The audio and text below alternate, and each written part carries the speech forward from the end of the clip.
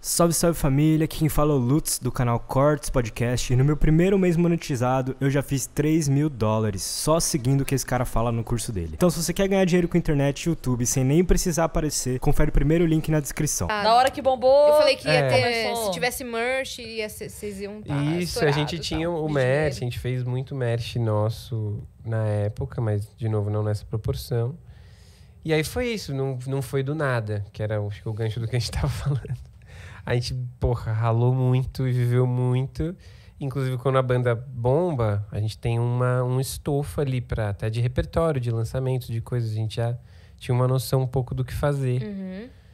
Não tanto, você nunca tá preparado para Pra essa proporção que foi, né? É, Porque, pra mano- proporção, tipo, é isso, você cresce, por mais que você sonhe com aquilo e você quer aquilo, de repente você olha e fala, caralho, agora isso tá rolando, quais Uhum. os ônus e os bônus disso, né? Tipo, não tenho mais nenhum dia da semana, não tenho mais nenhum horário livre. É, e a gente tinha uma coisa de, de privacidade que era foda, assim, porque as pessoas caçavam que isso é o que eu não sinto falta hoje, que eu não sei se eu, se eu, se eu gostaria de ter de novo, o fator celebridade. Uhum. Se É. fosse hoje, vocês estariam muito mais na expostos. máxima, assim, tipo, de você ir em qualquer lugar.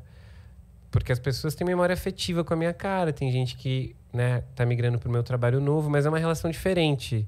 Tipo, não, não é o assédio na forma que a gente viveu, que era muito. Primeiro, a galera mais nova, então. Tipo, não tem isso de, ah, tudo bem, nossa, eu gosto do seu trabalho e tal. É, Mas, tipo, não importa onde você tá. E as pessoas Quer queriam. arrancar um pedaço seu pra levar embora. É, e as pessoas queriam ver a gente se fuder, cara. A real era essa. Tipo, como a gente era muito bonzinho, todo mundo ficava meio. Não é possível que eles são assim o tempo todo. Então, tipo, se a gente ia pra festa, a galera fotografava. E era época de, sei lá, paparazzi, não era fotógrafo.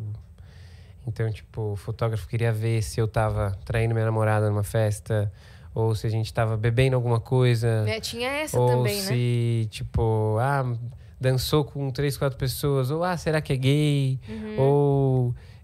E a galera, tipo, ficava muito. Então era um nível de, de falta de, de, de privacidade, assim, que... Isso acho que foi o mais retardado. Uhum. E que aí você não tá pronto pra nada. Tipo, você olha e fala, caralho, não posso realmente...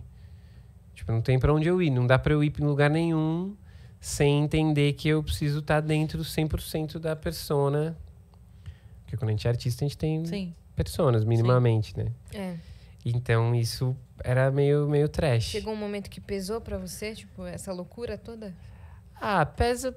Quando você tá vivendo na hora ali, você meio. Não sei se, se a gente sentia tanto. Primeiro que era irado, eu tava vivendo exatamente o que eu ach- quis viver, né? Que eu fiquei imaginando durante anos. Mas era, era depois turnê, de. né? Ônibus de pô, turnê, viajando, tudo, e viajando. tocando, e as pessoas cantando a sua música. São mais irados. Tipo, você chegar num lugar e Uhum. Conhecendo alguém. os artistas que você curtia, tá ligado? Fora isso. Vocês foram pra ser. Pra onde que vocês foram? Que tem a foto com o Travis. É. É, essa foto é Foi, irada. foi Pro Kids Choice Awards. É, vocês concorreram. É o K- Kids Choice. KCA. É, que é o meus prêmios Nick. É. Então, era irado, era lindo, mas hoje também mais velho, eu percebo as, as sequelinhas que, tipo, que sobra. Sobra um pouco de, de sequela de coisas que a gente não sabia lidar e que não tinha como saber. Tipo, tem Sim. coisas que não... Ninguém ensina, por mais que você seja preparado e cuide, saiba. Uhum. De repente você é, sei lá, a cara mais famosa do Brasil, ou uma das. Isso aí, você vai fazer merda. Tipo, você vai errar uma coisa ou outra, tá ligado? Sim. Não tem como.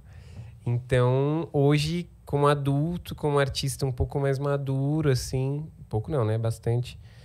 Eu olho pra coisas e eu falo, pô, legal, eu gosto dessa posição que a gente tava trocando ideia, assim, de pô, ter o meu trabalho e viver bem do meu trabalho e saber que eu tenho e de ir crescendo a base, mas tipo, não tenho essa pressa que eu tinha quando eu tinha 15 anos, que era tipo, pô, quero, Uhum. né? Quero o mundo agora. Quero o mundo hoje agora desse jeito também. Eu não sabia como era o mundo. Você, você quer muito porque você não sabe. É. A hora que você conhece o mundo, você fala, eita, dá pra devolver? Sai, sai, sai. Eu comprei faz sete dias, dá pra devolver? Não. o mundo é meio assim, né? Você fala, ah, o mundo é lindo. Ei, cara. Não era é, todo mundo, todo é. mundo. Eu falei- eu falei-